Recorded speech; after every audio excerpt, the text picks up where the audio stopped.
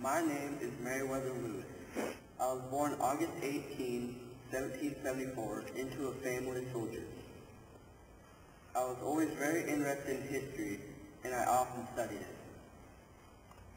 I was sent to school and taught by Parson William Douglas and Matthew Maury, who taught two former presidents. After my schooling, I went to war, and that is where I met William Clark. Later in my military career, I was promoted to captain. On February of 1801, I was chosen by my good friend Thomas Jefferson to be his private secretary and assistant.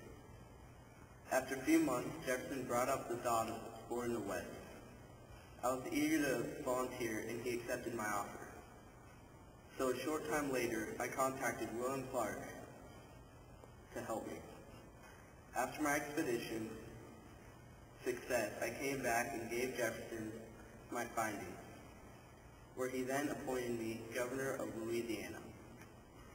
On October 18, 1809, I died, I died by a gunshot wound when I was traveling to see Jefferson.